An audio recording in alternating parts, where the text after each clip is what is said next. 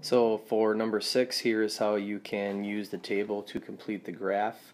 The independent quantity is going to represent your x-axis. The dependent quantity is going to represent your y-axis.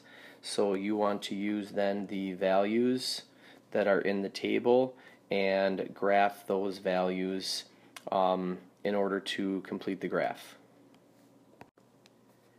Here is how you would plot 750 and 3750. Here is how you would plot 10 and 50. And here is how you would plot 1999 and 9995. So this is what my graph will look like when I use my table of values.